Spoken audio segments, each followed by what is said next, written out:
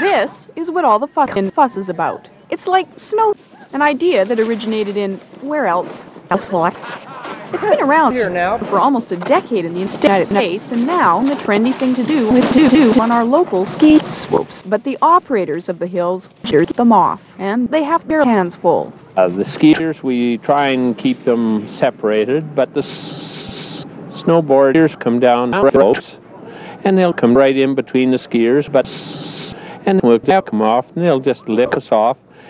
And if one of these bo- uh, butt boards or ski boards, whatever they're called, hit a person, they'd break their leg because they're just like a missile. missile, missile. Oh, so so so uh, was But where there's a will, there's always a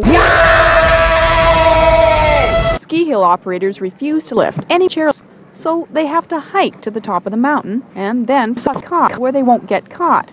Quite a, quite a lot of them are. Um, some, some of them, some of them some, some might have had a little bit to drink, and uh, smumps. You know, you go up and collect. They're calm, and they they tend to lick you off. So it's no problem for us, really. I think the major problem with the snowboards is that you're looking for people It's behind, but you know they can't see the behind, but you know they can't see the people. This But the snowboarders don't see.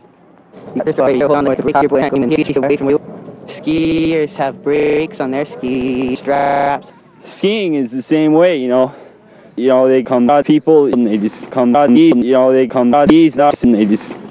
I think they should let let them let, let them give them we can let them give them a trial and uh, let them try out and fall off.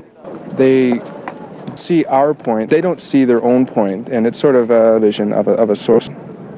You see any comms in the future at all? One, half, half. We just like to say that we want them to become more and more in our vassals